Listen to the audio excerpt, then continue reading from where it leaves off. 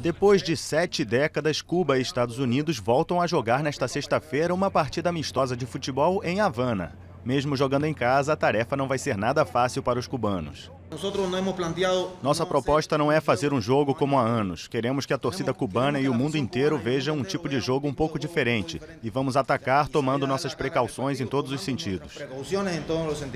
As seleções se enfrentam em um amistoso histórico que não ocorria desde 1947, quando seus países mantinham relações e Fidel Castro ainda não havia chegado ao poder. Na época, Cuba venceu por 5 a 2.